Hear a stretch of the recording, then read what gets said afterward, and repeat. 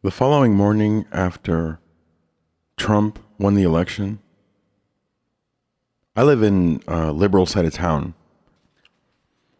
I decided to borrow a tuba from my neighbor and walk the streets of my neighborhood playing sad songs on the tuba.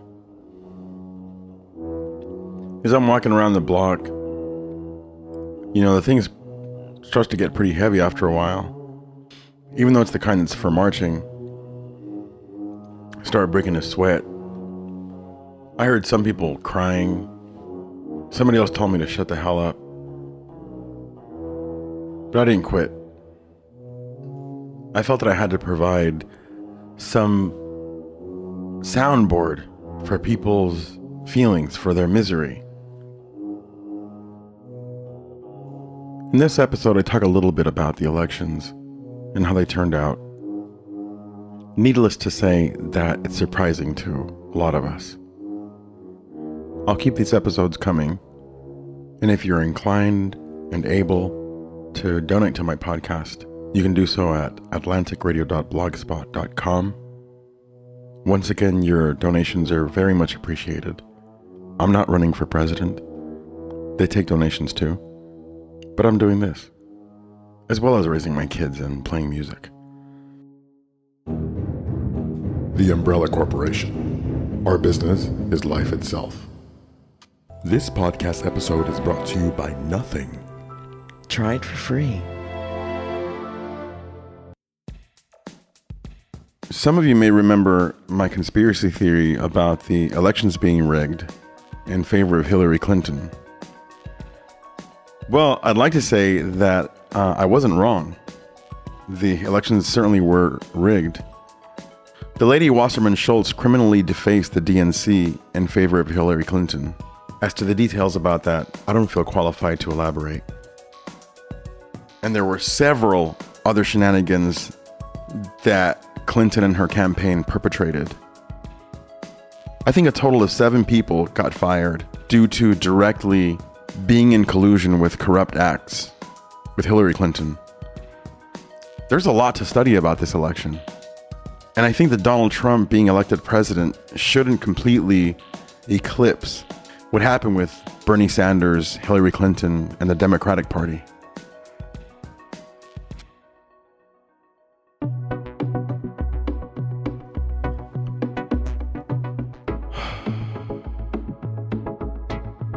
As I mentioned, and as you know, Donald Trump is going to be the president.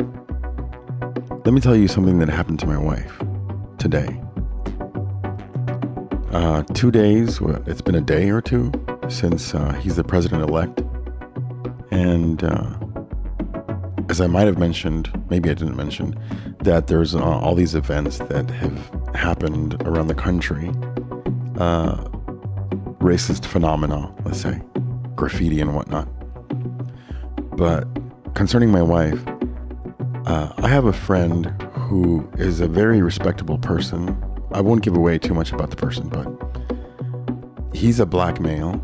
He's a grown man. And uh, he started an organization in which we play for people in hospital beds. And we've been doing this, he's been doing this for, I don't know, like 15, maybe 20 years, I don't know. I've been doing this for like maybe 15 years, something like that. And she, my wife went to go have a meeting with him because he needed someone to do the scheduling of the musicians. Uh, the person that he's working with is not working out. The person who's doing that right now is not working out. And so he thought that perhaps my wife may be a good fit for this uh, for this job. So they had a meeting today in the so-called progressive side of town. Uh, I mean, it is pretty progressive, I guess. Uh, I don't even know anymore. But um, they were sitting at a coffee shop, and they they were wrapping up their meeting, and my wife went to her car to grab one of her business cards. And as she was coming back, she said a about 50-ish, maybe 60 year old tall white male who had been sitting at the same cafe that they were meeting at said to her, You're pathetic. As to why he would say that to her, I don't know, but I could deduce, and she could deduce, as she explained to me, that this man said this to her because she had been sitting with a dark skinned black man who happens to be the friend that I'm talking about. If, in case this has something to do with Trump being elected president, which let's face it, it most likely does. Uh, I don't know how that provides an air for people to do things like this all of a sudden. Like, how does Trump being the president elect have anything to do with people's allowance to lash out about racial things? I don't I don't even understand how to compute that. It's retarded, basically. Let's hope that these kinds of things go away with a quickness.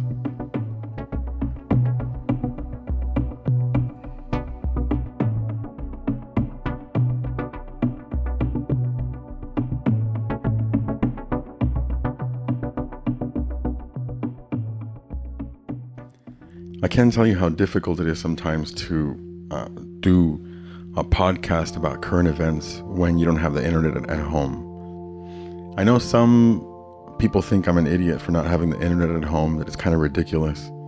And in truth, really, it is. But it's it has such great benefits to it also that I won't get into right now.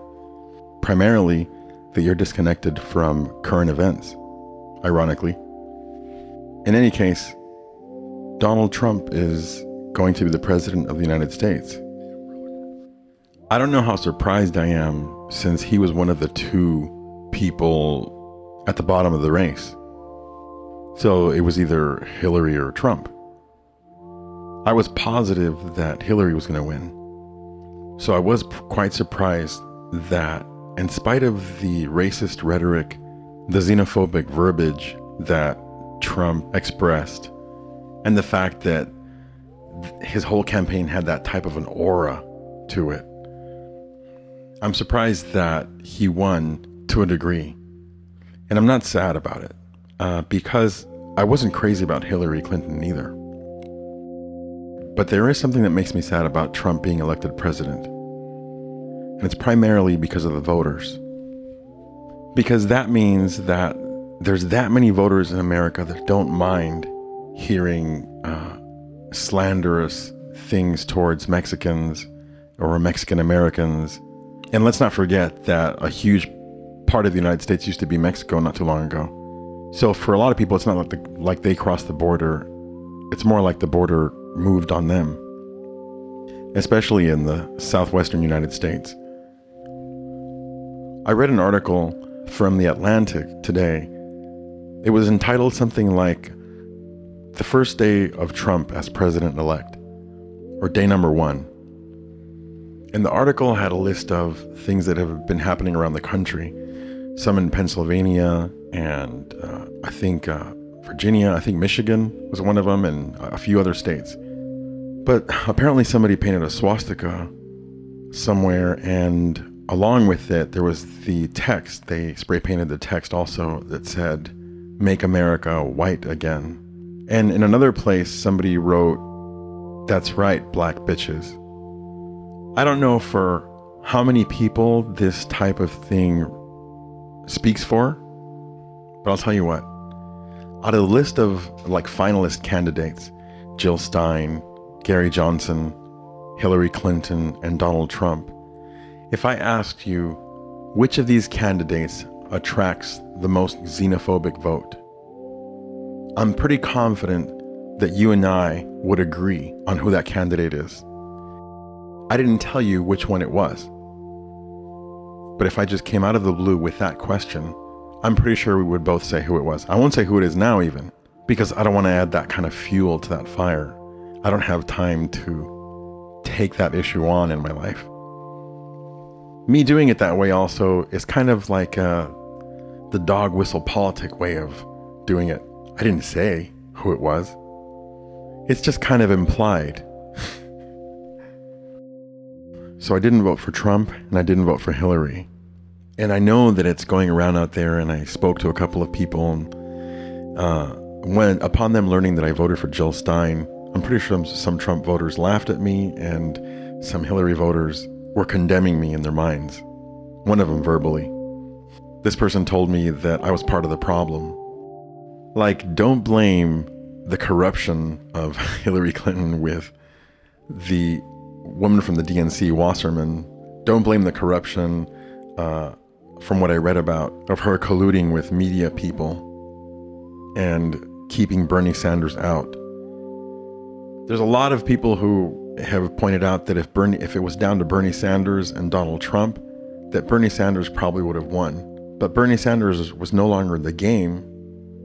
I'm pretty sure largely due to the shenanigans that the Hillary campaign had going on during this election.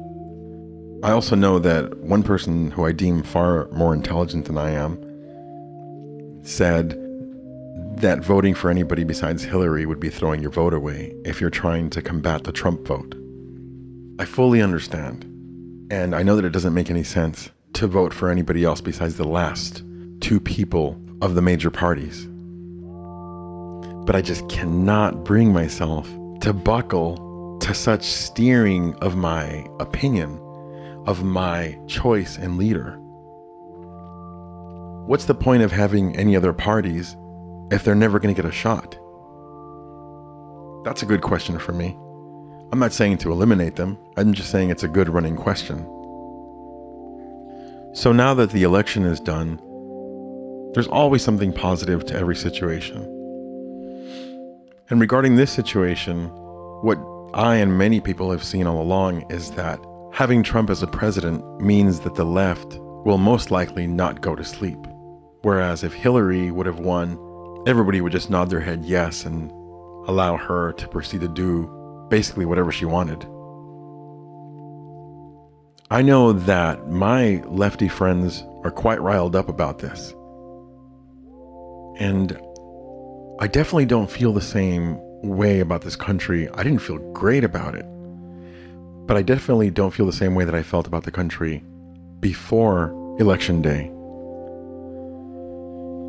Because maybe I had lost sight of it, but really I had no idea that there were so many people in America that would be willing to tolerate and even participate in such xenophobic rhetoric. It's quite astounding. It's like the year 1960 came out of the woodwork.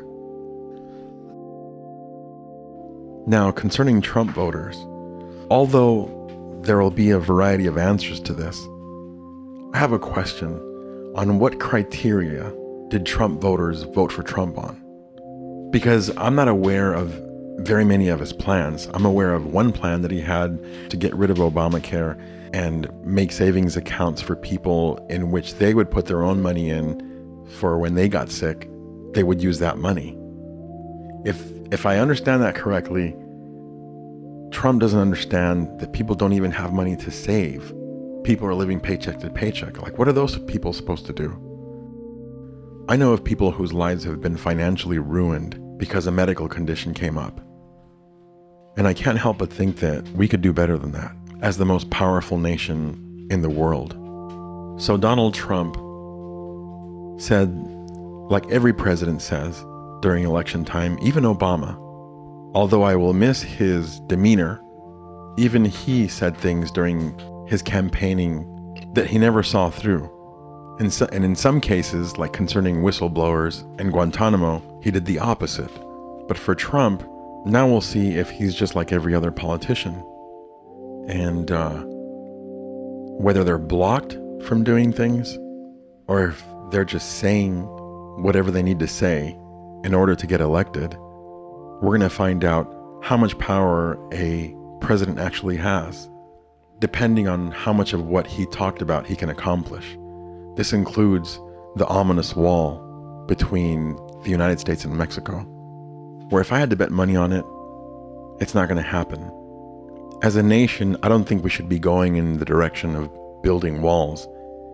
Meanwhile, business wise and communication wise, we're increasingly globalized. I think that over the next four years, there's going to be a lot of insecurity. and that people will be thinking harder about things and paying closer attention to things, which is a good thing. Overall, I'm pretty sure it's going to be a strange time.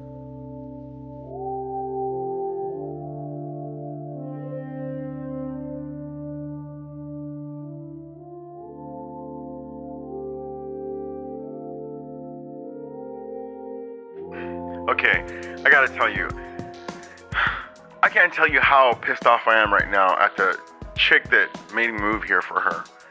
I mean, I know it was ultimately my decision, but why did she have to move here? Like, I know I fell in love with her and everything, we're in love, but why did she have to move here? I thought she was educated. She went to college, she had her master's degree. I think she was on her way to getting her doctorate. And her brother was a doctor, and her brother's wife was a doctor, and her sister was something else. They all graduated university. Her dad and her mom graduated university. So, you know what? She couldn't have been as smart as I thought she was, or any of them, because they moved here. Well, okay, her brother and his uh, his wife they had a residency here, but wh- how can anybody want to move here? Like, if you know, if you're that educated, I wasn't educated. I was ignorant. I was this ignorant Chicano dude, eh, and I thought that you know I was like moving up in the world. Also, besides being in love, I thought that I was starting to hang out with people who were more educated than me. And but who who in their right minds with that kind of education would move here if they didn't have to? I guess they had to. Florida is Florida is a messed up state. You know, it is. It, I don't. I seriously, I'm not trying to bash your state. If you love it here, I completely understand. Like, for example, I have uh, sentimental feelings for the West Coast uh, and the way that it looks and all the people and the culture. Of course, I'm like I mentioned, Chicano.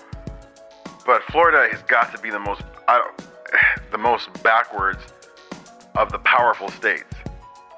I mean, uh, it's crazy over here. People still, people still drive around here with waving the Confederate flag. As a matter of fact, you know, forget that.